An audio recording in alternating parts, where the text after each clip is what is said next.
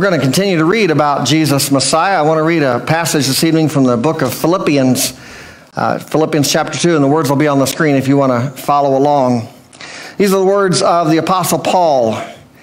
He says, In your relationships with one another, have the same mindset as Christ Jesus, who, being in very nature God, did not consider equality with God something to be used to his own advantage.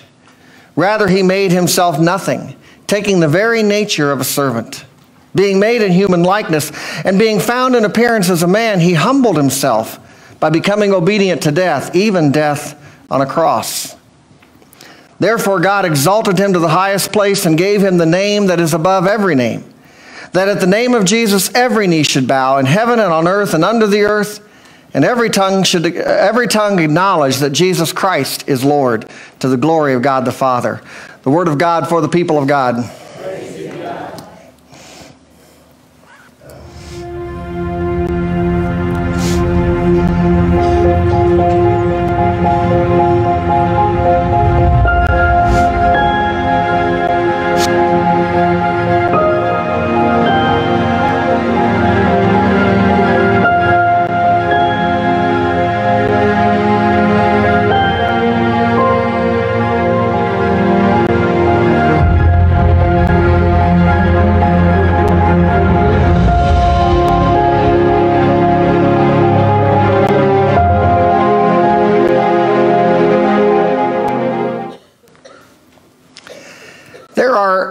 Songs that I know of. There may be more, but there's two songs I know of that you can really only sing on this night, on Ash Wednesday. One of them we sang at the beginning of the service tonight, Lord, who throughout these 40 days. The other one is called Sunday's Palms are Wednesday's Ashes. I know those titles just roll off the tongue, don't they? But that latter song refers to that the, the, older practice of keeping some of the branches that we use on Palm Sunday until the next year and burning them to use on Ash Wednesday. Now I tried that the first year I was here. Pastor Aaron had left behind the palms from the previous year, and so I took them down to the, the door outside the kitchen by the parking lot and set them on fire. Easy peasy, right? I nearly burned the building down.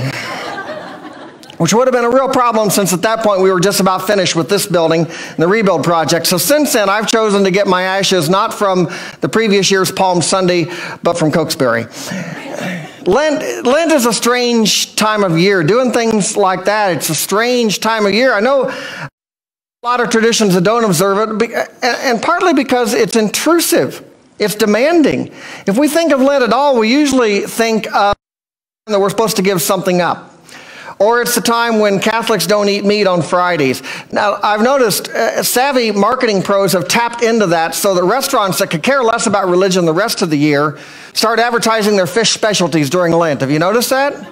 Even Chick fil A, at least last year, they served fish during Lent, but not, of, of course, on Sundays. I, I, don't know if they changed their name to Cod Filet. Jan, Janet, do you know? No, still Chick fil A? Okay. But they serve fish. Everybody's into that. When I was growing up, we didn't observe Ash Wednesday at my home church, and so the only way I knew Lent had begun was when we began getting up early on Sunday mornings to go to breakfast. The, the United Methodist churches in our area had a, at that time had a long tradition of hosting round robin Lenten breakfasts on Sunday mornings. Every church would take a Sunday and they'd provide a breakfast and a, and a brief program. But all we had to do, all, all, all of that had to be done in order to get back to our own church for worship. And so my earliest memories of Methodist Lent is, Mike, there we go, egg casserole. That's what Lent meant to me right there. I, I, you know, the more I found out about the actual season, though, I came to realize that's really kind of opposite the spirit of Lent. Lent's supposed to be a season of fasting or, or self denial or going without so that we can focus on the main reason for these 40 days. This season's not about breakfast or fish or fasting or even giving something up. The, the, the main point of this season is to refocus on Jesus. It's meant to be a time that prepares us to walk with Him to the cross and then to the empty tomb. Now, the season of Lent developed early in the history of the church, and in part, it, it, was a time for those who had walked away from Jesus and the church to come back, to return, to seek forgiveness, and, and on Easter to be welcomed back into the fellowship of the church. And so Lent began to take on a, a penitential atmosphere, a time for repentance and, and growing faith. But all, always in the center of it was Jesus. Always this awareness that at the end of the 40 day journey is a cross and a death and ultimately a resurrection, although that's the season of Easter, not Lent.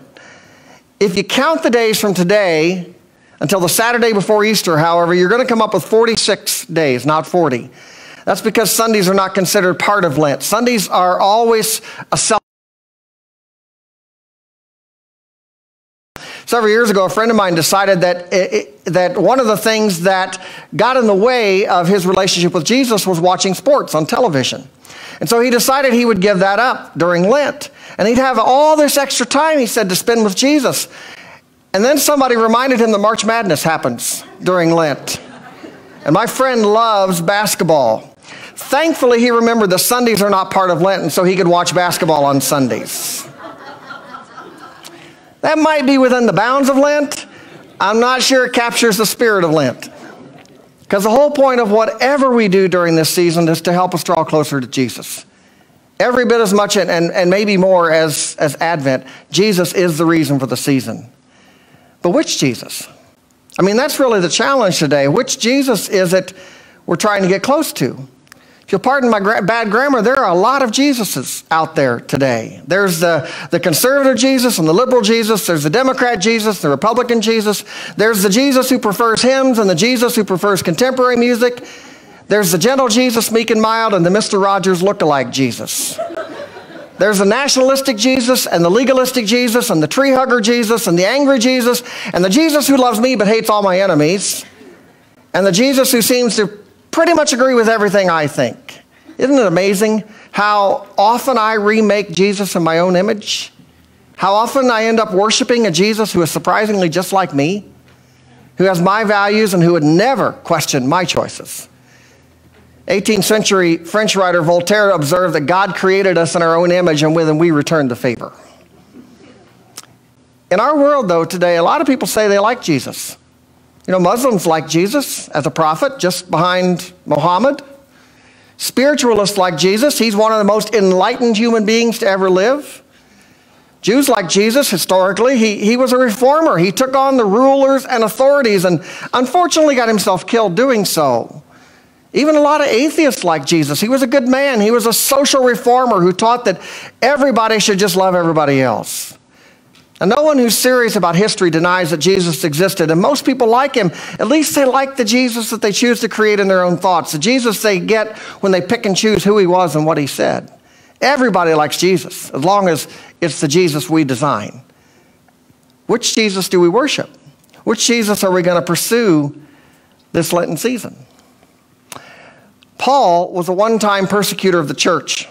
And he encountered Jesus in a powerful and life changing way. You may remember his story. He was on his way to some Christians because of their belief in Jesus as the Messiah, as the Savior, and he was literally knocked to the ground by a blinding light. And then he heard a voice from heaven that says, Why do you persecute me? It was Jesus. And Paul was never the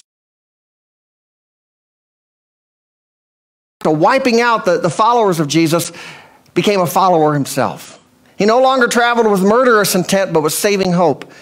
And he traveled all across the Roman Empire preaching the good news about this Jesus. And then he wrote letters, letters which continue to help us not only know how to live the Christian life, but also how to understand who Jesus is. While the, while the Gospels, which we're going to look a lot at a lot during Lent, the Gospels help us learn what Jesus did and taught. Paul helps us understand what it all means. And in the passage that we read tonight, Paul is trying to help the Philippians find a path to, to unity, something to unify around. And he does that by reminding them what Jesus was like, the real Jesus. Not the Jesus they'd made up in their heads, not, Jesus, not the Jesus they wished he was. The Jesus Paul had encountered along the road and the Jesus he had, taught, he had been taught about from those who knew him directly was the Jesus Paul wanted the Philippians to fall in love with. And most scholars, a lot of scholars think Paul's quoting an, an ancient hymn in this passage. Some others think he may have written this poem himself. Either way, these are some of the most beautiful and, and moving words Paul ever put to paper. And so, in these words, whether they're lyrics borrowed or created, Paul gives us an image of the real, authentic Jesus. And this passage is, is rich. It's, it's far too rich for us to cover in depth tonight, but for our purposes, as we kind of launch into this, this series, this Lenten series, I want to give you three words to remember. Three, uh, three hooks that you can hang your thought, some thoughts about Jesus tonight. And in good preacher fashion, they all begin with the same letter. So the first word tonight is lowered. Verses 6 through 8, Paul very poetically talks about Jesus coming to earth, that, that this one who was God came down to live and walk among us. He made himself nothing, Paul says. In those verses, we find the, the, the, basis for the, the idea for the doctrine that Jesus is both fully God and fully human. But uh, unfortunately, older translations talked about Jesus emptying himself. That kind of gives us the image of, of something being poured out, something being lost. How we empty a glass or a box and we don't leave anything behind. That's not, that's not what Paul's saying. Jesus didn't give up any of his divinity when he came to earth. There's a whole lot of technical stuff that goes into the, to the original language here. I'm not going to bore you with that tonight. But here's what Paul's saying in a nutshell Jesus' nature, his, his essence, who he was, didn't change. When he became human, he was every bit as much as God as he was before. His outward appearance changed. He added to what he was before. He became human. He was fully God and fully human all at the same time. Mind blown. Because it's a mind blowing, it's a, it's a hard to grasp idea. But how else could he reach us? As God, he was way beyond our comprehension. He had to become like us in order to reach us. In order for us to pay attention to him or even be in his presence, he lowered himself and he chose to do that. In fact, Paul says he came as a slave. Servant is not a strong enough translation there in verse 7. When we think of a servant, we usually think maybe of something like, uh, like on Downton Abbey or some other historical show. You know, the servants, they're, they're lesser in status, but they're treated somewhat like extended family. Now, the, Paul, the image Paul has in mind is a slave, a person without advantages or rights or, or privileges. It's, it's, a, it's a nobody, a nothing. Someone who would be, as the prophet Isaiah said centuries before, someone who would be despised, rejected, thought of as nothing.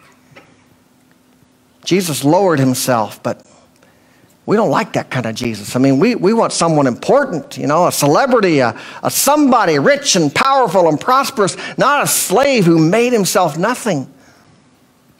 And yet, that's the way Scripture says he came. He lowered himself. Second word for tonight is love.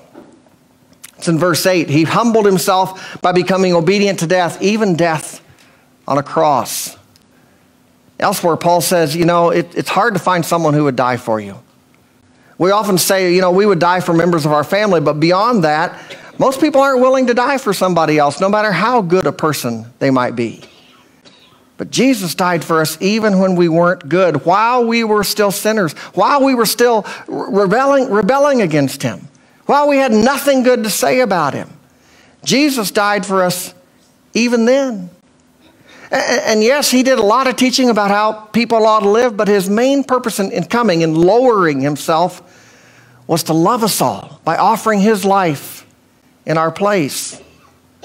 He took our sin on himself, and in some way that we don't fully understand, he dealt with it, took care of it through his death on the cross. He looked down through the hallways of history and he saw you and he saw me and he, and he, he saw all the sin that we would, the, the mess that we would get ourselves into, and he still loved us. Greater love has no one than this, he told his disciples, than to lay down one's life for one's friends. And on that same evening, his last night with them, he reminded them that his main command to them was to love each other the way he had loved them. Love each other with your lives, he says. Love looks like a cross.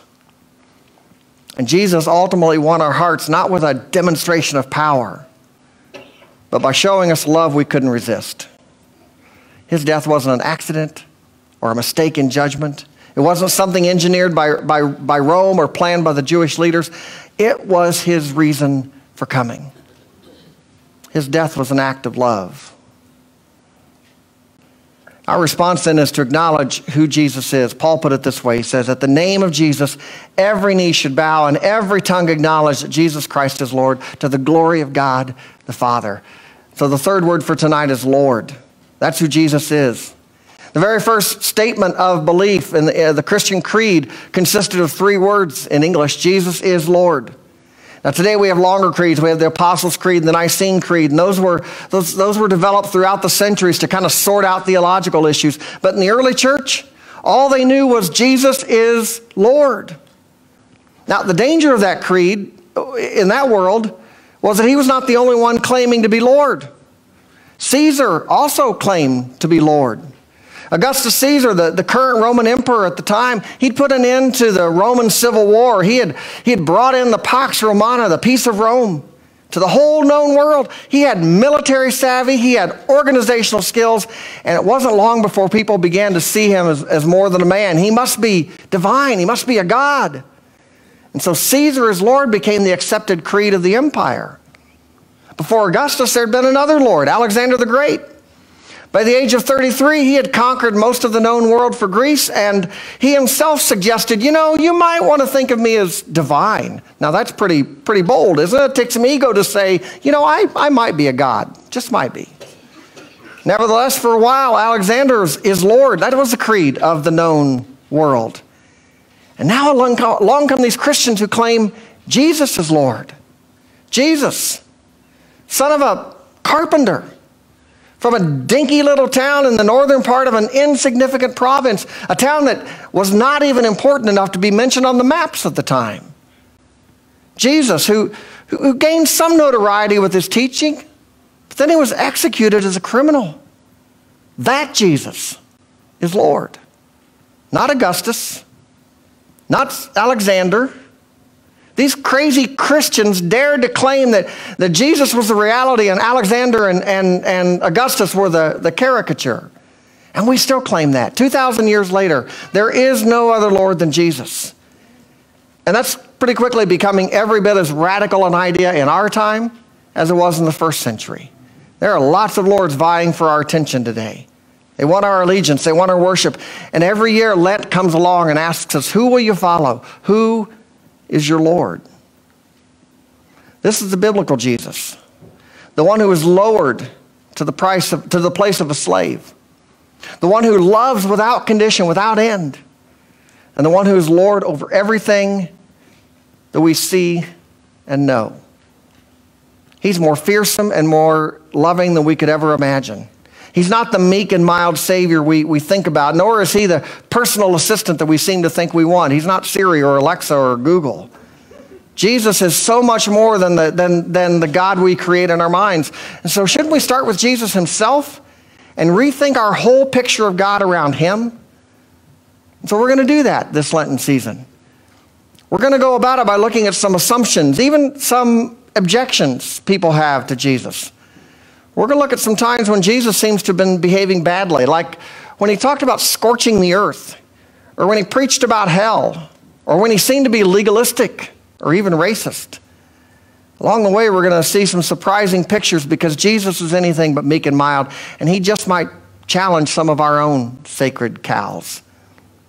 You know, one of my favorite scenes in the Chronicles of Narnia comes early on in, in the, the first book written, The Lion, the Witch, and the Wardrobe. And the children are trying to figure out who this Aslan character is that Mr. Mr. and Mrs. Beaver keep talking about. He's a, he's a lion, they said, and he's the king of the beasts. And, and it's obvious he's pretty fearsome. And so the children ask, Is he safe? Mr. Beaver responds, Safe? Who said anything about safe? Of course he isn't safe, but he's good. He's the king, I tell you. That's about as good a description of Jesus as I've ever heard. He's not safe, but he's good. He's the king, he's the Lord. And so tonight we have a chance to begin this Lenten season by acknowledging our own mortality, our own lowering. We have a chance to at least symbolically lower ourselves with Jesus.